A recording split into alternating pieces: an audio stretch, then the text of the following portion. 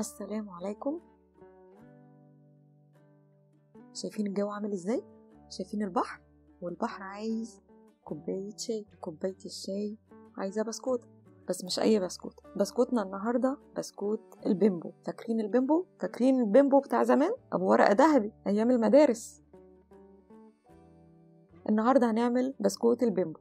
شايفين شكله جميل إزاي؟ وطعمه مش عارفة أقول لكم تحفة خطير خرافي جميل. أو يمكن عشان أنا بحبه بس هو فعلا جميل.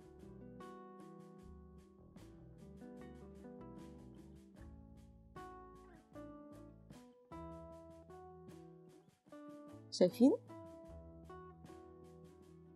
شايفين من جوه؟ تحفة. يلا نبدأ. بسم الله. النهاردة هنستعمل كوباية من الزبدة. الزبدة تكون طرية شوية. كمان ربع كوباية من الزيت. هنستخدم كمان كوباية إلا ربع من السكر البودرة. ندخلهم شوية مع بعض ونضرب بالمضرب لحد ما ينعموا ولونهم هنلاقي لونهم مفتح شوية. شايفين بقى فاتح إزاي؟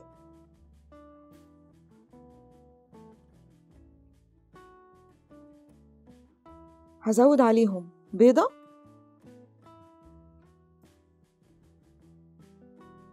وشوية من الفانيليا.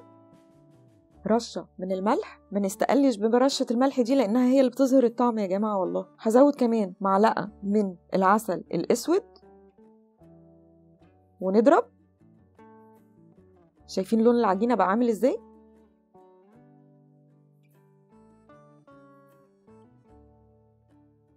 الوصفة النهاردة فيها كوبايتين ونص من الدقيق. أنا هحط كوبايتين والنص التاني هخليه للآخر لحد ما العجينة تظبط معانا. مش كل الدقيق زي بعضه. فأنا هحط الكوبايتين وأزود بقى لحد ما أشوف هياخد قد إيه.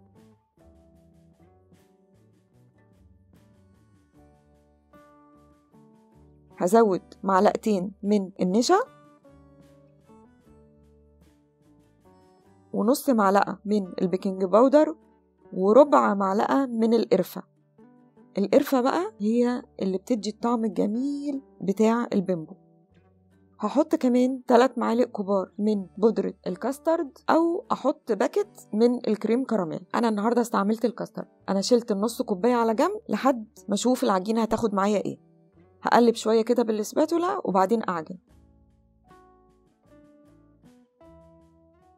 أنا معايا أخدت كوبايتين ونص أخدتهم كلهم. هجيب كيس من بتوع التلاجة وأفتحه عشان يسهل عليا الفرد. هحط العجينة. شايفين العجينة عاملة إزاي؟ طرية وجميلة. ريحتها من قبل ما تدخل الفرن جميلة. طبعا ربع معلقة بتاعت القرفة دي عاملة شغل جميل جدا. أبدأ أفرد العجينة بين كيسين تلاجة. ده السمك اللي إحنا عايزينه مش عايزينه تخين؟ علشان إحنا لسه هنلزق البسكوتين في بعض. هستخدم القطاعة المدورة وأبدأ أقطع. شايفين؟ بكل سهولة يعني مش محتاجة حتى أدوس عليها. صينية بقى وعليها ورقة زبدة وهحط عليها البسكوت بعد ما قطعته وأدخله الفرن على 170 درجة هياخد 12 دقيقة. شايفين بعد ما طلع؟ كله زي بعضه. كله نفس المقاس يعني كله نفس اللون. أبدأ أرص البسكوت أو نص البسكوت. هخلي الوش اللي تحت والجزء اللي كان على الصينية هخليه قدامي فوق علشان ده اللي هنحط عليه الحشو. هحط شوية من النوتيلا في كيس حلواني وأبدأ أحط على البسكوت من النص. ما احطش على الحراف قوي عشان لما أحط البسكوتة التانية هيطلع لنا على الجناب.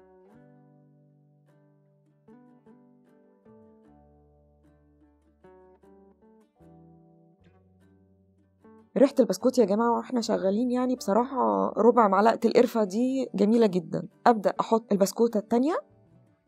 أدوس دوسة صغيرة كده بإيدي علشان الشوكولاتة تحت تتوزع. شايفين؟ شايفين السمك بقى عامل إزاي؟ عشان كده مكناش عايزين نعمله تخين قوي. هسيح شوية من الشوكولاتة. ممكن تكون شوكولاتة بحليب أو شوكولاتة دارك. وأحط عليها معلقة من الزيت. بلاش زبدة زيت علشان يديني اللمعة اللي إحنا عايزينها. أقلب كويس. وأحضر جنبي آه، شبكة كده أو راك أحطه على طبق علشان بعد ما أغلف البسكوت أطلعه عليه هينزل لي زيادات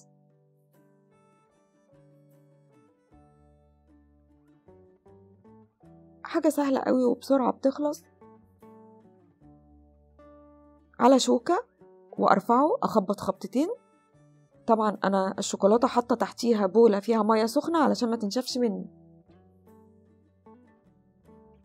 وأطلع كده على الراك علشان ينزل لي أي زيادة موجودة في البسكوتة. هسيبه يبرد شوية أو يجمد شوية. هحضر شوية كمان من الشوكولاتة الدارك. في كيس حلواني وهعمل فيه فتحة صغيرة قوي علشان أقدر أعمل له الخطوط بتاعة التزيين من فوق.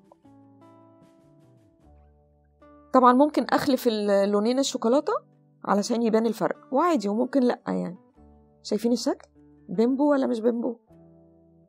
والطعم بيمبو بيمبو بيمبو. جميل جدا. شايفين؟ شايفين شكله جميل إزاي وطعمه مش عارفة أقول لكم تحفة خطير خرافي جميل أو يمكن عشان أنا بحبه بس هو فعلا جميل.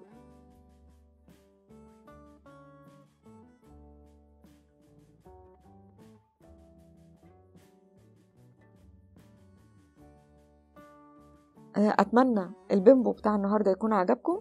وما تنسونيش في الاشتراك في القناة و like و share والسلام عليكم.